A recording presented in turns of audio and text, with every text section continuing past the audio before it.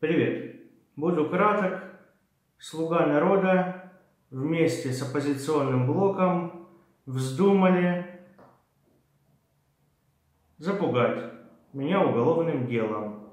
И уже с подачи депутата Александра Ковалева, это тот самый Александр Ковалев, который э, был уже замечен в посягательстве на свободу слова в Украине, конфликт с журналистом, угроза со стороны Ковалева, потом не очень корректные высказывания в сторону журналистов, которые наше издание опубликовало в СМС-переписке Александра Ковалева. Ну и вот теперь Александр Ковалев, который был такой смелый, говорил, что он будет э, расправляться с журналистами, угрожал, э, сам же побежал писать заявление, обратился в правоохранительные органы, и вот уже на комитете по свободе слова, который возглавил Шуфрич, первым делом обсудили вопрос, как наказать блогера Всеволода.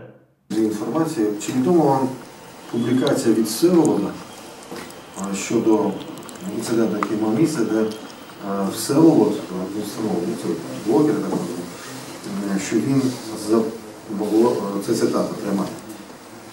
Призываю Александра покаяться, а также принести извинения, иначе мы будем вынуждены установить круглосуточную слежку за семьей и близкими нардепа, для того, чтобы каждый день создавать новые, добытые новости о его жизни. Ну, я не Це вам знаю, невідомо? я не знаю, взагалі, Вибачте, можна я? хто, хто такий Прокоментую. Всеволод і- Я знаю цю людину. написав. Вы знаете, кто это? Я знаю, хто це. Я знаю, хто ця людина і що він саме мав на увазі. Це сталося наступного дня після того, як е, на вас е, вам погрожував пан Ковальов.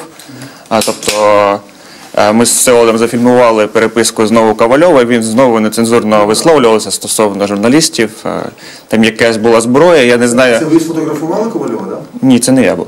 Це Да? Фотографія месенджера Ковальова, де він ну, дуже некрасиво висловився що журналістів. Тут я Це, це наша агенція робила так. А ви представте. Олексій Липовицький, голос народу.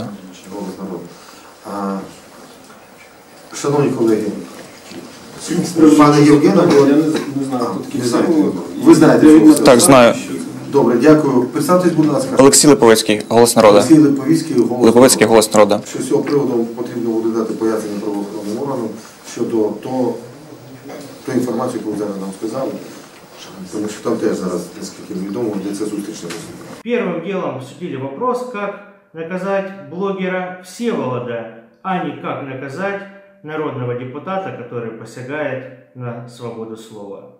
Ничего другого от Нестора Шуфрича я не ждал. Конечно, неприятно, что это происходит в сговоре с партией «Слуга народа», на которую возлагали такие надежды украинцы. Ну и также довожу до вашего ведома, что депутаты от партии «Слуга народа» уже начали э, следить за нашими журналистами нашего проекта. Вот мой коллега Алексей Липовецкий попадает в объектив фотоаппарата одного из народных депутатов, который передает эту фотографию с неизвестной целью неизвестным людям.